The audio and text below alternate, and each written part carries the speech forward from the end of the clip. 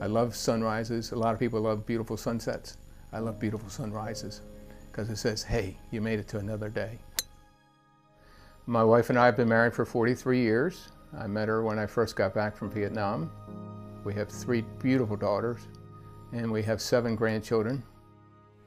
Dan is the best father that there could be. He is not a person or a dad that says no to um, any of his girls.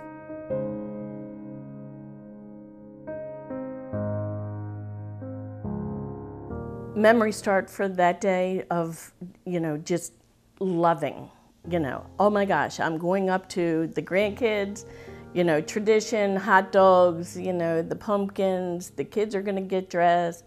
And as I was sitting there drinking, it was a cup of punch that they had given me, I noticed that I was drooling down the side of my face. He comes walking over to me, not not too long after we had arrived there.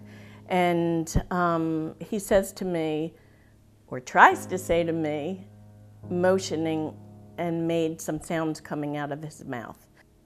It's very difficult to watch a loved one go through something like that and not know how it's going to end up.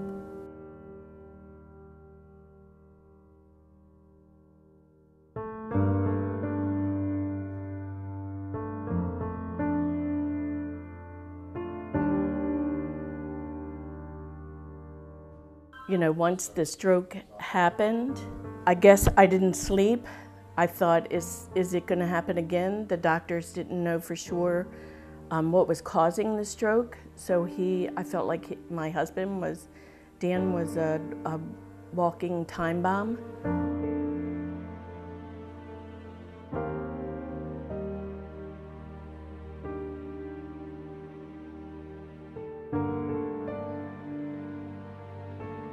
Something's going on with your heart. We want to monitor your, your heart activity.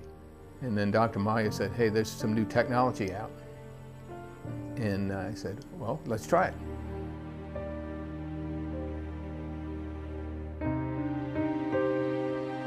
They had a transmitter sit next to my bed, so every night at midnight it would automatically talk to this chip.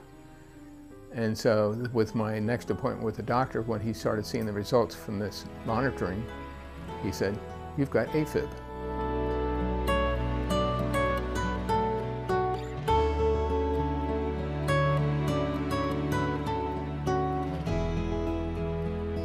it certainly was a lot of relief. It was, instead of looking over my shoulder all the time for every little, you know, finger prick you got or whatever was happening at the time. Pay attention to your body again. It's always trying to tell you things. Either things are doing great or things are going a little off kilter. And if it's not real, real serious, obviously keep a log, keep a journal. Learn by it, examine it, explore it, uh, persist.